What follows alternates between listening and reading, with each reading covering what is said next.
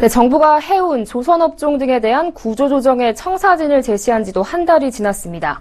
전방위로 몰아닥친 구조조정 칼날이 매서운데요.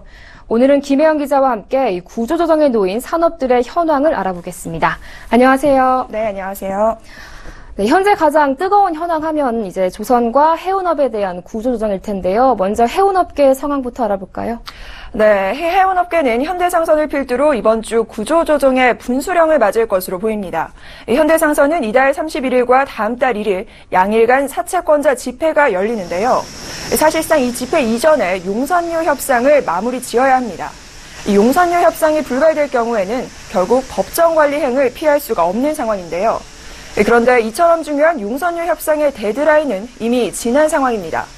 당초 20일로 약속됐던 시간을 넘기게 되자 금융위는 물리적 시간을 구애받지 않겠다고 한 발 물러섰습니다.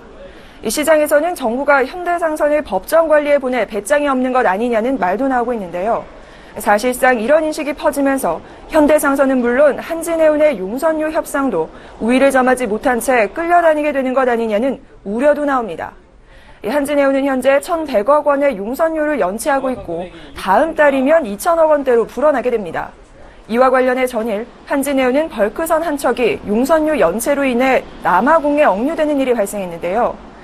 참다 못한 선주가 실력 행사에 나선 겁니다.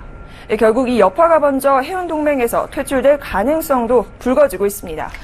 네, 해운업에 이어서 조선업도 상황이 좋지 못합니다. 지금 조선업 침체 속에서 수주까지 바닥이 나면서 대형 조선사부터 중소형 조선사까지 다 휘청휘청하고 있는데요. 지금 조선업 상황은 어떻습니까? 네, 맞습니다. STX 조선해양이 전일 사실상 법정 관리로 전환을 하게 되면서 조선업체는 이제 빅3와 중소형사, 이 투트랙 전략의 구조조정 소용돌이에 휩싸이게 됐습니다. 사실상 감원부터 퇴출까지 그야말로 최악의 한 해를 보낸 조선업 계는 씨름하고 있는데요. 이 한때 세계 조선사 4위에 이름을 올렸던 STX 조선은 3년 동안 4조 원대의 자금을 수여받았지만 결국 회생에는 실패했습니다. STX 조선에 이어 SSP 조선 역시 삼라 마이더스 그룹과의 매각이 불발되면서 법정 관리가 유력해진 상황입니다.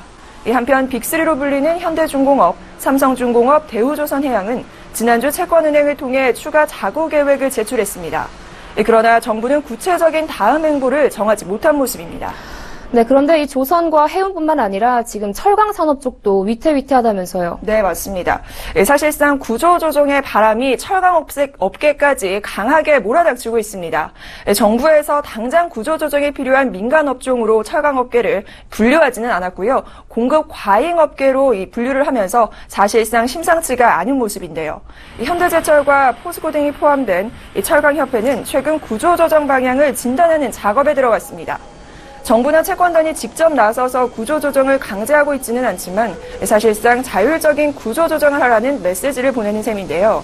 철강업체들은 진단 결과를 토대로 오는 8월 시행될 정부의 지원 정책인 원샷법의 적용을 받을지 여부를 판단하겠다는 입장입니다. 네, 이 구조조정 한파가 몰아치면서 지금 소비도 위축되고 있다죠. 네, 맞습니다. 아무래도 기업의 구조조정발 소비 심리 위축이 가장 큰 문제로도 드러나고 있는데요. 사실상 이 구조조정을 시행하면 많은 인력이 감원되게 되면서 이에 따른 금융업계의 불안까지 겹치며 부정적인 영향을 받을 수밖에 없는 상황입니다. 아무래도 내수를 중심으로 한 경제 성장세에 위축될 수밖에 없을 텐데요. 이런 현상은 실제 지표로도 나타나고 있습니다. 두 달 연속 상승했던 소비자 심리 지수가 하락세로 돌아섰고요. 특히 조선과 해운 기업이 거점을 두고 있는 울산과 경남 지역에 불어닥친 소비 한파는 그야말로 두드러지고 있습니다.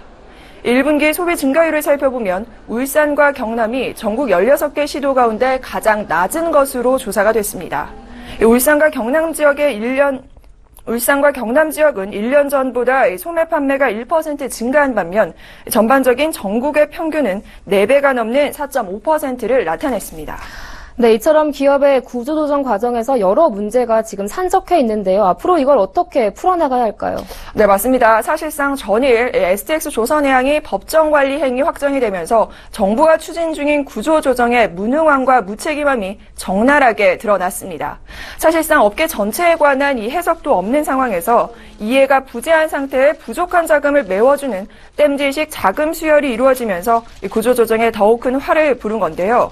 결국 밑빠진 독에 물붓기로 실패한 STX를 반면교사 삼아 향후 조선과 해운 전반에 걸쳐 과감한 결단이 필요해 보입니다. 산업 개편의 큰 그림과 경제 논리에 입각해 살릴 기업과 퇴출시킬 기업을 가려내지 않으면 결국 혈세만 낭비하게 될 것입니다. 네, 최근 산업 전방위로 불어닥친 구조조정 현황에 대해서 보도국 김혜영 기자와 함께 자세히 알아봤습니다. 오늘 말씀 잘 들었습니다. 고맙습니다.